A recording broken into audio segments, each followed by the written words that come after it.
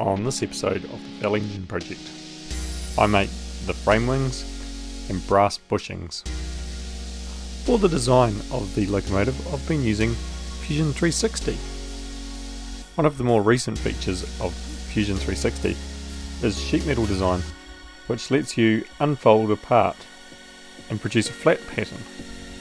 For the frame wings, I use this to generate a dimension layout of the part, taking into account the material required for the folds.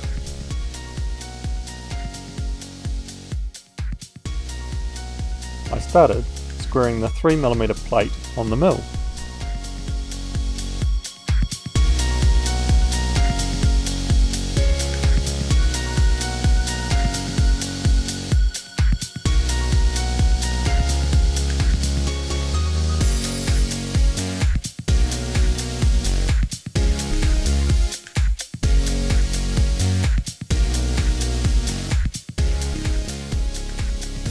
The next job was to mark the layout on the part.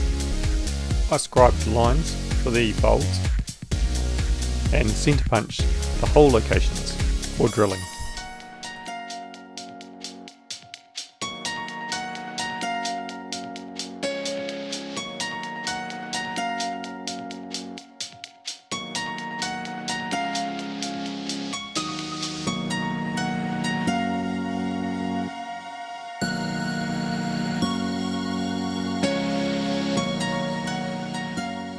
Then it was off to the drill press to drill the holes, using the centre punch marks to centre the holes.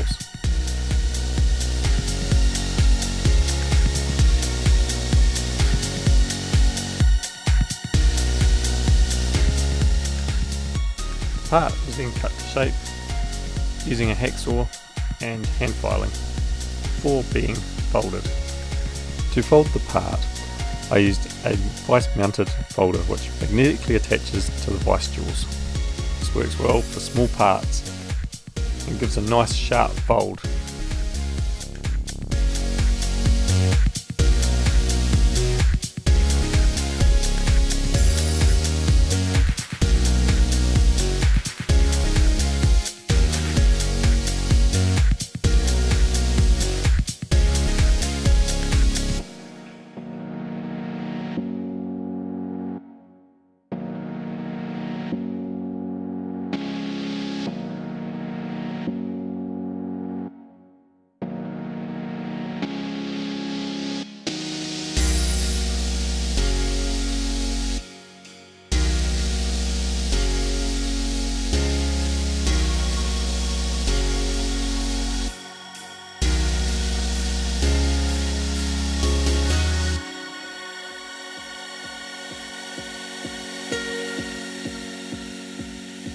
I finished the folds with a hammer with aluminium soft jaws to protect the part.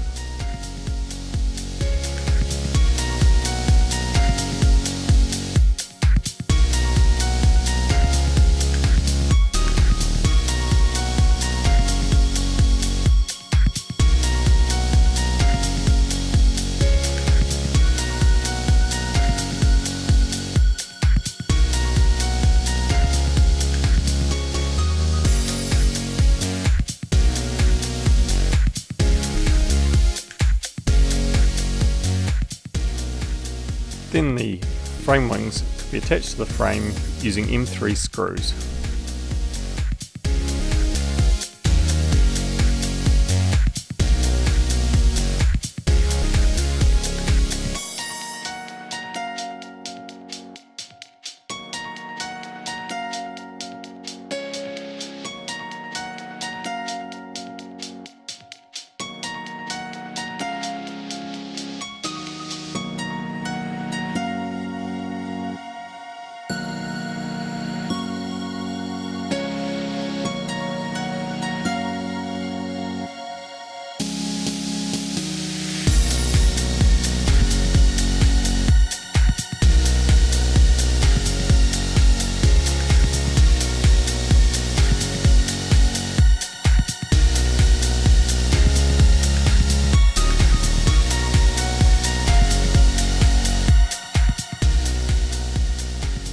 Here we have the frame with the wings attached.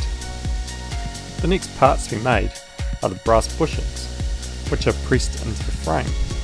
To make these, I used the lathe, starting with 10mm brass rod. To hold this in the lathe, I used my ER32 collet chuck, which uses the same collets as I use with the mill.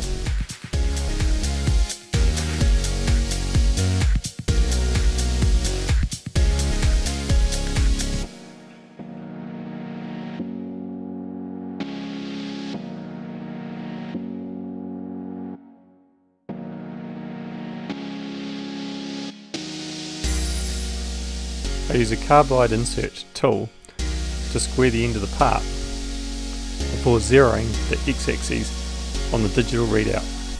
This allows me to locate the features accurately without having to mark the part. Once the part's turned to shape, I switch to a parting tool. Once again zeroing the digital readout on the end of the part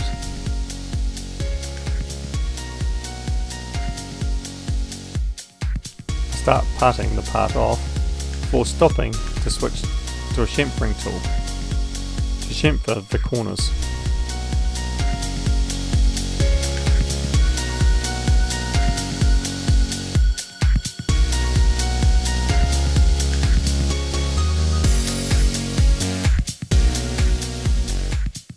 A quick cleanup with an abrasive pad and it's ready for drilling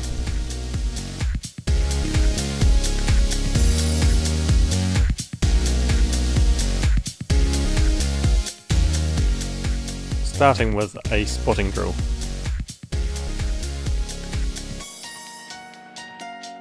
Followed by the final drill size, in this case 3mm.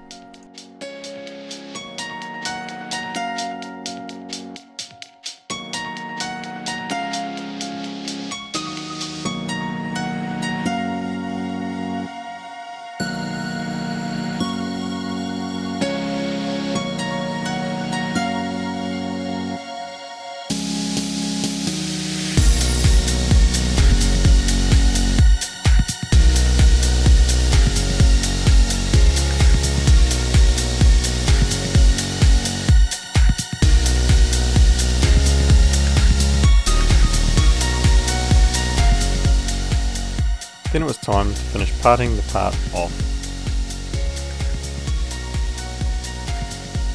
I deburred the hole in the part using my Noga Rotodrive countersink. Then the bushing could be tapped into place in its hole in the frame. You may notice that the frame has changed slightly. At this point I decided to remake the frame with some additional material in the rear section and with many more tapped holes to avoid having to have so many nuts inside the frame. Thanks for watching. If you enjoyed this video, please like and subscribe.